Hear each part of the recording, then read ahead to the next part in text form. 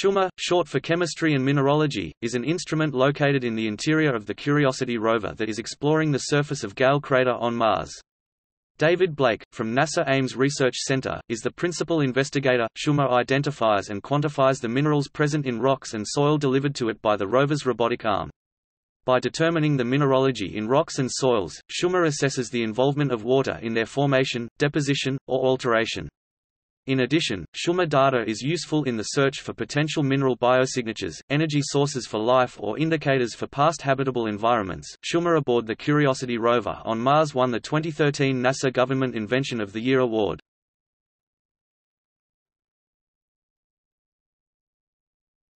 Topic: Description CheMin is an X-ray powder diffraction instrument that also has X-ray fluorescence capabilities. CheMin does not require the use of liquid reagents, instead, it utilizes a microfocus cobalt X-ray source, a transmission sample cell and an energy-discriminating X-ray sensitive CCD to produce simultaneous 2D X-ray diffraction patterns and energy-dispersive histograms from powdered samples.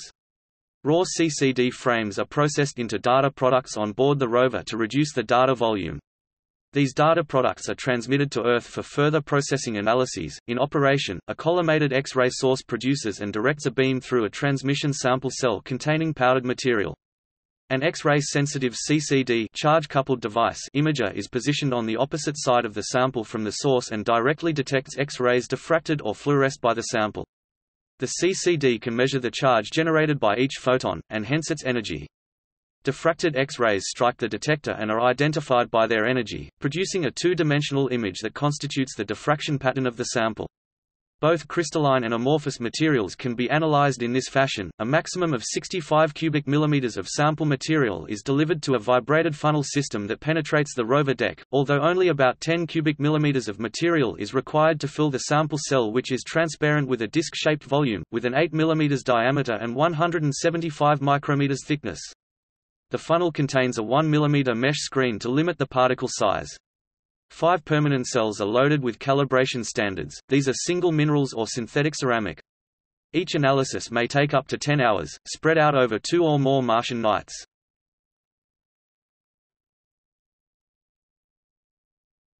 Topic. Features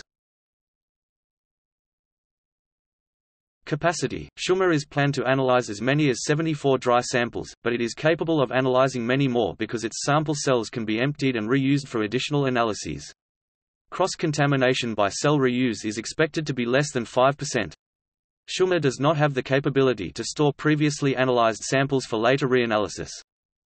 Detection limits – able to detect individual minerals that are present at the 3% level and above. Accuracy – For minerals that are present in concentrations of 12% and above, CheMin is able to state the absolute amount present plus or minus 1.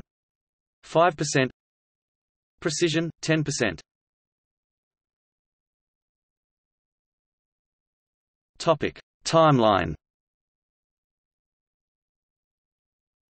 On October 17, 2012 at Rocknest, the first X-ray diffraction analysis of Martian soil was performed.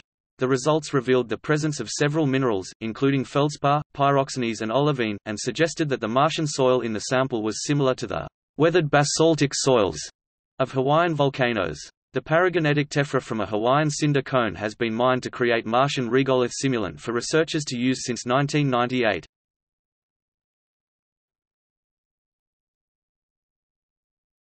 Topic: Typical results.